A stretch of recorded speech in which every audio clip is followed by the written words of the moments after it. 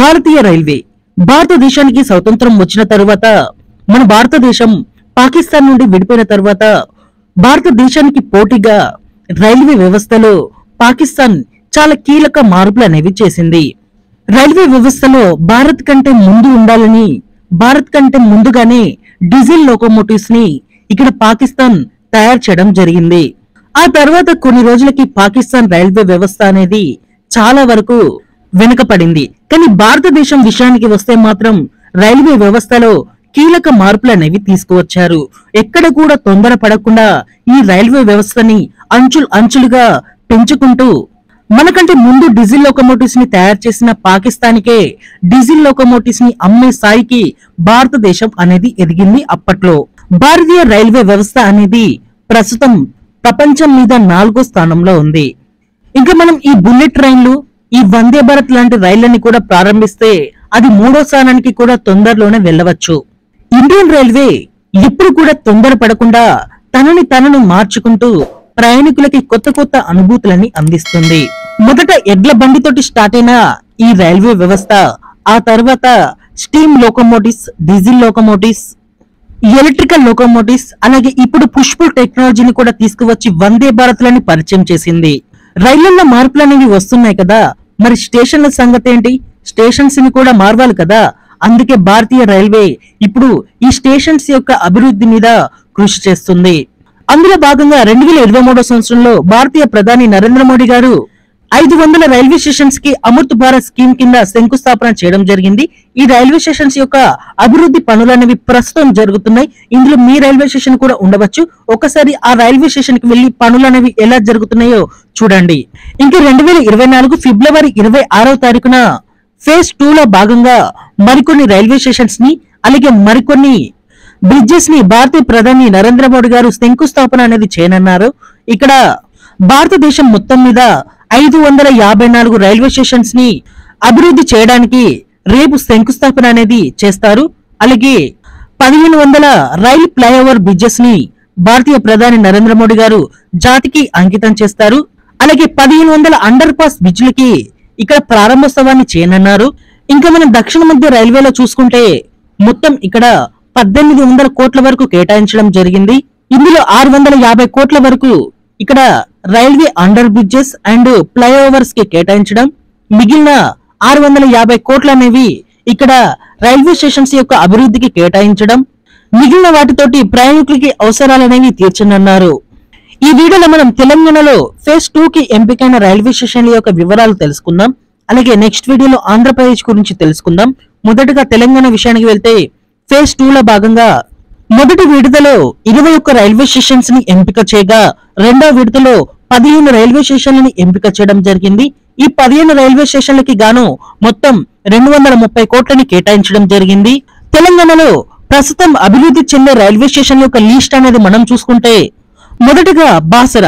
Basara railway station అనేది అతి ముఖ్యమైన రైల్వే స్టేషన్గా చెప్పుకోవచ్చు తెలంగాణలో.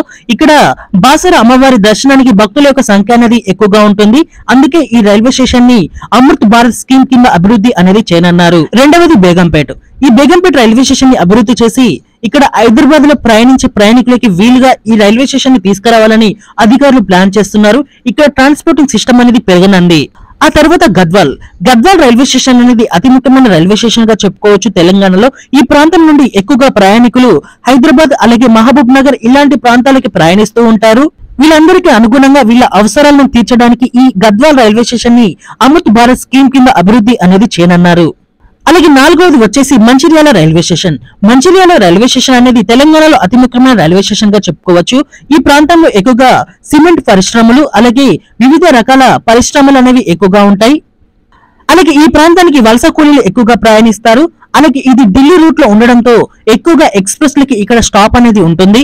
ఈ రైల్వే స్టేషన్ని అభివృద్ధి చేసి ఇక్కడ ప్రజల అవసరాలను తీర్చడానికి దీని అమృత్ భారత్ స్కీమ్ కింద అభివృద్ధి అనేది చేయనున్నారు.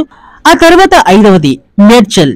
మేడ్చల్ అనేది ఉపాధికి విద్యకి పెట్టిన పేరుగా చెప్పుకోవచ్చు. ఇక్కడ ఎన్నో రకాల కాలేజీలు అలాగే ఎన్నో రకాల పరిశ్రమలు ఇక్కడ చదువు కంప్లీట్ చేసుకుని వెళ్ళిన విద్యార్థికి ఇక్కడ ఎన్నో రకాల ఉద్యోగ అవకాశాలు అనేవి ఉంటాయి. హైదరాబాద్తో కలిసి ఉన్న కూడా తనకు తను ఒక ముద్ర అనేది ఈ మేడ్చల్ అనేది వేసుకుంది. ఈ రైల్వే స్టేషన్కి అభివృద్ధి అనేది చేసి ఈ రైల్వే స్టేషన్ని ప్రజలకి అందుబాటులోకి పూర్తి స్థాయిలో తీసుకురానన్నారు. ఇక్కడ రైళ్ళ యొక్క సంఖ్య కూడా పెరిగే అవకాశం అనేది ఉంది. ఆ తర్వాత మనం చూసుకుంటే మిర్యాలగూడ రైల్వే స్టేషన్. సికింద్రాబాద్ గుంటూరు సెక్షన్లో ఉండే ఈ రైల్వే స్టేషన్ అనేది అతి ముఖ్యమైన రైల్వే స్టేషన్గా చెప్పుకోవచ్చు.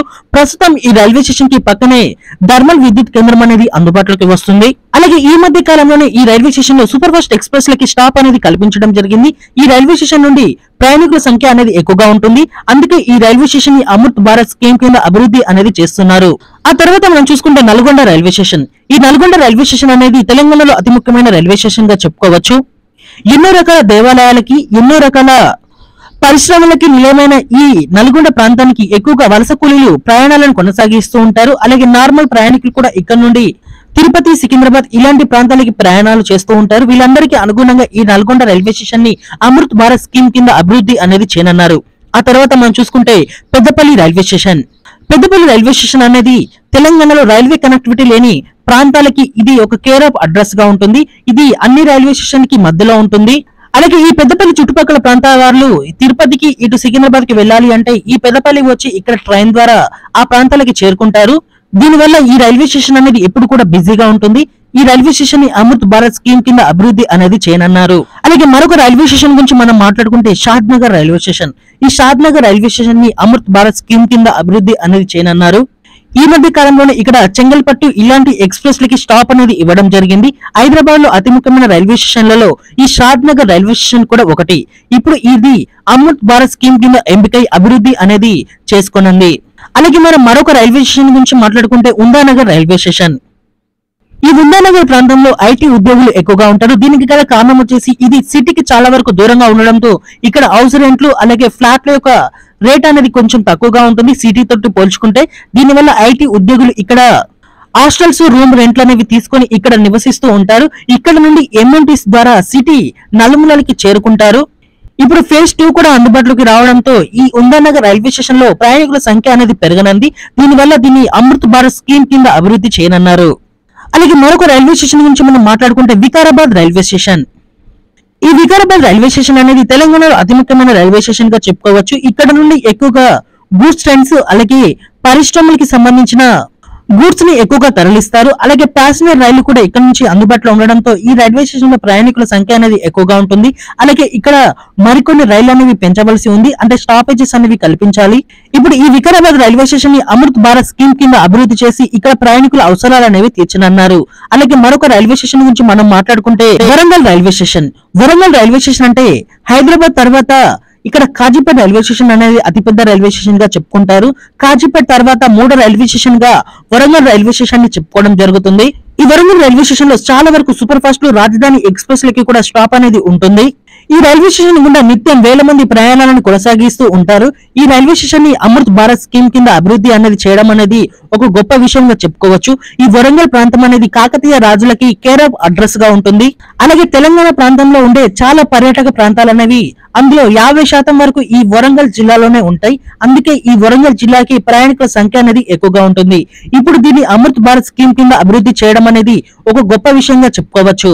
అలాగే మరొక రైల్వే స్టేషన్ వచ్చేసి యాకుతుపుర ఈ రైల్వే స్టేషన్ అనేది చిన్న రైల్వే స్టేషన్ కావచ్చు కానీ ఈ రైల్వే స్టేషన్ నుండి ప్రయాణికుల సంఖ్య అనేది ఎక్కువగా ఉంటుంది. హైదరాబాద్ ప్రాంతంలో ఇది కూడా ఒక ముఖ్యమైన రైల్వే స్టేషన్గా చెప్పుకోవచ్చు. దీన్ని ఇప్పుడు అమృత్ భారత్ స్కీమ్ కింద అభివృద్ధి చేయడం అనేది ఒక గొప్ప విషయంగా చెప్పుకోవచ్చు. తెలంగాణలో అమృత్ భారత్ స్కీమ్ కింద ఎంపికైన బాసరా బేగంపేట గద్వాల్ మంచిర్యాల మేడ్చల్ మిర్యాలగూడ నల్గొండ పెద్దపల్లి షాద్నగర్ ఉందానగర్ వికారాబాద్ వరంగల్ యాగ్దిపుర ఇలాంటి రైల్వే స్టేషన్స్ అనేవి త్వరలోనే రూపరేఖలు అనేవి మార్చుకోనున్నాయి. ఈ రైల్వే స్టేషన్స్ నుండి ఎవరైనా మన వీడియో చూస్తుంటే ఒకసారి మీ రైల్వే స్టేషన్ పేరుని కామెంట్ చేయండి. అలాగే మా రైల్వే స్టేషన్ అభివృద్ధి చేస్తే బాగుంటుందని మీరు అనుకుంటున్నారో మీ రైల్వే స్టేషన్ పేరుని కింద కామెంట్ చేయండి. ఓకే ఫ్రెండ్స్ మరిన్ని మోర్ రైల్వే అప్డేట్స్ కోసం మన ఛానల్ని ఫాలో అవ్వండి. ఈవినింగ్ ఆంధ్రప్రదేశ్ వీడియో వస్తుంది.